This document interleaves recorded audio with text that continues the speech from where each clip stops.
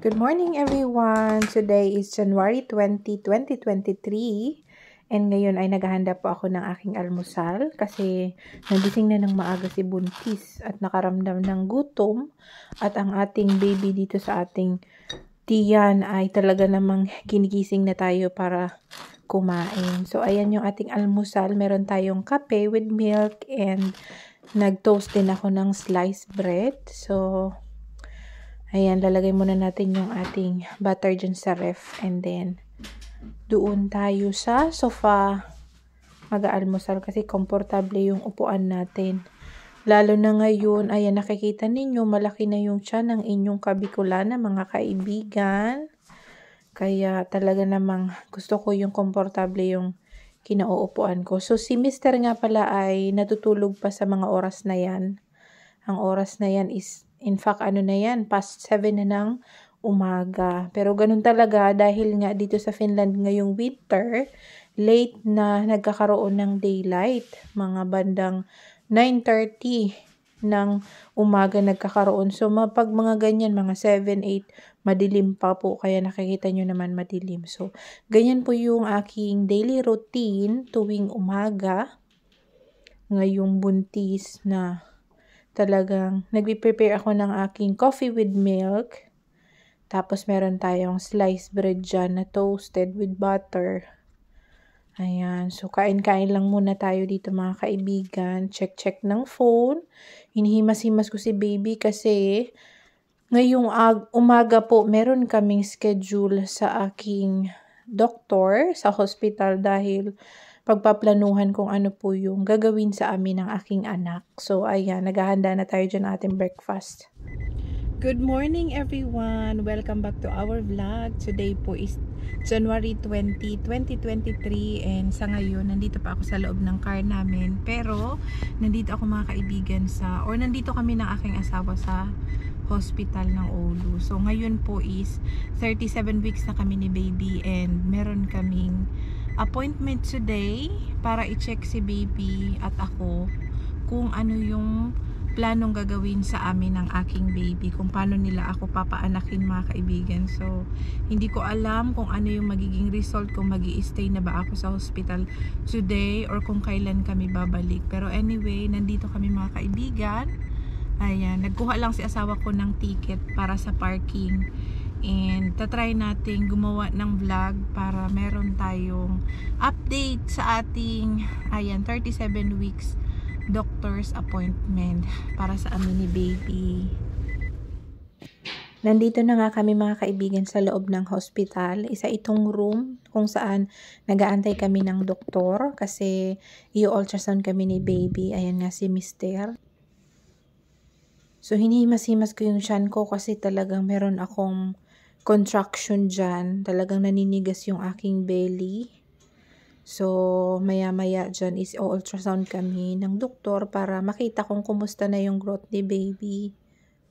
Magandang araw mga kaibigan! So, welcome back po sa ating vlog. So, this vlog po is continuation ng ating vlog kahapon kasi hindi ko na natapos yung vlog natin kahapon nung pumunta kami sa hospital dahil medyo hindi na komportable yung aking pakiramdam kahapon mga kaibigan. Kasi ayun nga, kahapon is last appointment namin ni baby sa hospital. Yung chinek kami, in ultrasound si baby at ayun nga, um, nagkandak ng sweep or yung tinatawag na alam mo yung ipapasok ng doktor yung kanyang daliri and isaswipe niya dyan sa loob ng iyong cervix para kung yun ay magiging epektibo, magkakaroon ka ng labor, makakaramdam ka ng pag-labor para ikaw ay manganak. Kasi po, ayun, ipapaliwanag ko sa inyo mga kaibigan, ano.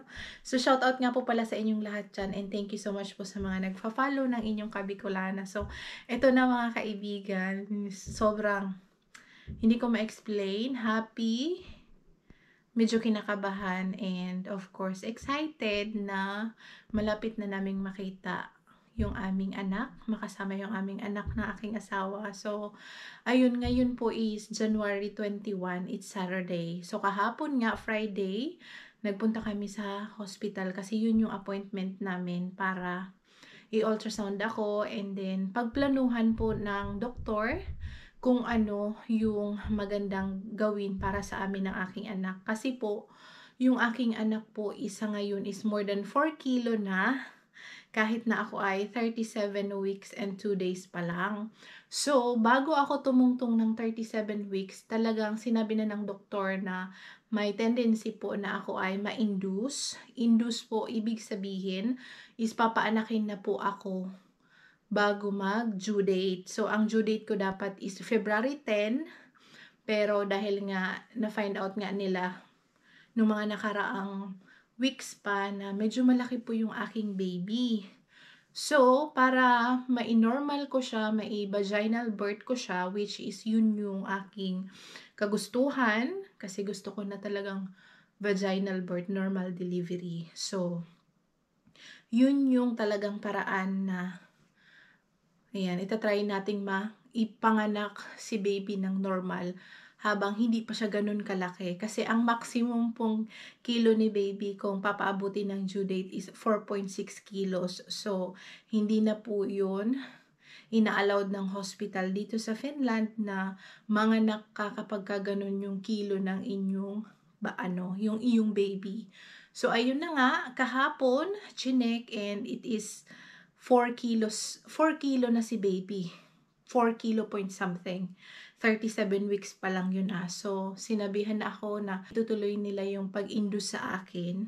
Kahapon, Friday, trinay ng doktor na uh, iswipe ako yung cervix ko. Ginamitan niya ng dalawang daliri. Sinwipe na dyan sa loob para yung membrane, alam mo yung para magkusa akong labor So, ayun, ginawa yun kahapon and yung experience ko is medyo masakit siya ng konti sa mga hindi pa naka-experience sa inyo dyan. Pero kayang-kaya naman yung sakit. Ayun, yun yung naging experience ko. And then, nagkaroon po siya ng pagdugo. Pero normal daw po yun, sabi ng doktor. Kasi syempre, sinwipe yung cervix mo dyan. So, yung pag-swipe ng doktor na yun is talagang ginawa niya yun para this coming Saturday, today is Saturday, and tomorrow Sunday, itatry po namin kung magli-labor ako ng kusa para kumbaga hindi na ako dadaan doon sa induce procedure. Pero kapag ka hindi ako nagkusang labor ngayong Sabado at bukas ng linggo, by Monday po meron akong schedule na talagang i-induce na ako. So, ang sabi ng doktor, kasi syempre nagtanong kami, meron daw ipapainom na medicine na kumbaga magpapahilab ng shan ko, mag, magkakaroon ako ng pag-labor, mag-contraction, and ayun nga, magli-labor ako hanggang sa maipanganak natin si baby. So, yun yung ating schedule mga kaibigan. So, ngayon, Sabado, nandito kami sa bahay. Ayan, nagbisi-bisihan ng inyong kabikulanan, naglinis, prepare na yung mga kailangan namin dito sa bahay para kay baby, mga ganun. Talagang sinikap kong maging abala and then nag-exercise din ako kung ano yung mga pwedeng gawing exercise para magkusa akong mag-labor. And actually, meron na akong pagdugo po kasi nga kahapon nung swinipe yung cervix ko dumugo and then um, binigyan lang ako ng pad pero chinek pa rin ako bago kami pinauwi ng aking asawa. Chinek yung aking yung baby, yung heartbeat niya, yung paggalaw niya.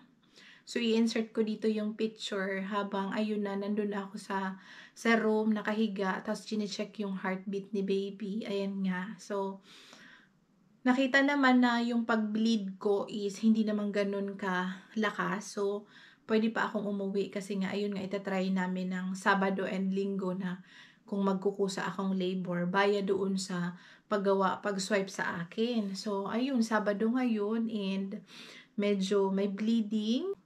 Okay pa, hindi pa ako nakakaramdam ng yung labor talaga na masakit. Yung paghilab lang ng aking chan, yan, meron akong nararamdaman, pero sabi ko, kaya, kaya siya, hindi pa talaga totally labor na kailangan na namin pumunta ng hospital. So, meron pa akong time for tomorrow, Sunday, kung makakaramdam ba ako ng pag-labor. Kung hindi, ayun, talagang by Monday na yung aking schedule na i-induce na ang inyong kabikulana mga kaibigan.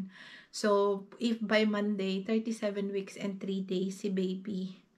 So, hopefully, maging successful yung ating um, pag-induce na talagang mai normal ko si babying maipanganak via, alam niyo na, vaginal birth kasi yun talaga yung first option ko. And dito naman sa Finland, hindi ka naman nila ibabasta-bastang ooperahan kung talagang hindi kinakailangan. Pag nakita naman nila na talagang kaya mong ma-normal delivery, in-normal delivery talaga nila yun. So, nag-prepare na ako kanina. Ito na yung bed ng aming baby. Ayan, kasi nandito ako sa room namin and parang, alam niyo yun, nakaka yung feeling ko, hindi ko ma- maipaliwanag yung feeling ko kanina kasi tinutupi ko yung mga damit niya, tinitingnan ko ulit, even though na, na ano ko na yun, nakita ko na yun na paulit-ulit, sabi ko, ayan na, for sure na talaga na dadating na talaga yung anak namin. So parang, ayun, masaya, syempre, kinakabahan ng konti and excited, of course na ayun nga, malapit na namin makita yung aming anak. So, ayun siya mga kaibigan, ayun yung ating update sa ating huling check-up kahapon sa doktor. Yun na yun. So, yung aking boses, ano, parang medyo napapaos ng konti and syempre nahihirapan. So, ayan na po mga kaibigan, yung ating belly. Ayan, laki na yung belly natin, si baby. Ayan. Kikita nyo. 37 weeks and 2 days po, uh, ah, 37 weeks and 1 day siya ngayong araw na to. Ayun yung ating experience din sa swipe membrane. Cervix swipe, ayun yung ating naging experience mga kaibigan. So far, medyo masakit ng konti sa mga hindi pa nakaranas ng cervix swipe. Yung Talagang ipapasok yung daliri and then isa-swipe siya dyan, pa-circle, para mag-open daw yung cervix. Medyo masakit siya ng konti. And ayun nga, nag-bleed, which is normal naman, sabi ng doktor. Pero kung kahapon is medyo malakas yung pag-bleed ko, hindi na ako papayagang umuwi ng bahay. Talagang papaanakin na ako kahapon. Pero hindi naman siya ganun kalakas, parang spotting lang. So, napauwi pa kami ng aking asawa and ayun nga, nagaantay tayo.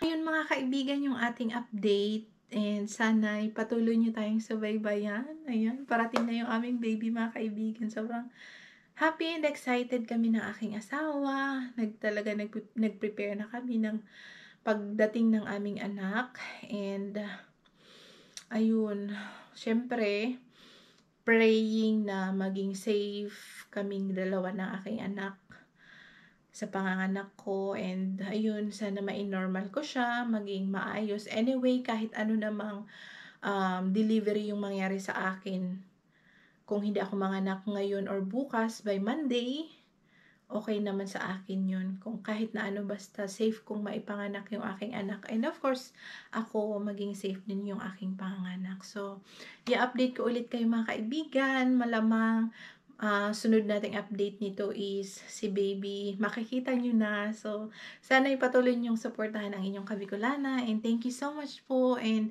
comment po kayo mga kaibigan kasi natutuwa akong basahin ang inyong mga comment. And ayun, ingat tayong lahat and see you po ulit sa aking next video. Bye!